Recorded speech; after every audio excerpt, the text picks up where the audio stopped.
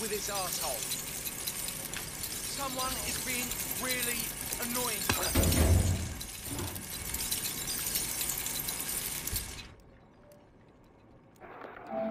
I'm clipping that.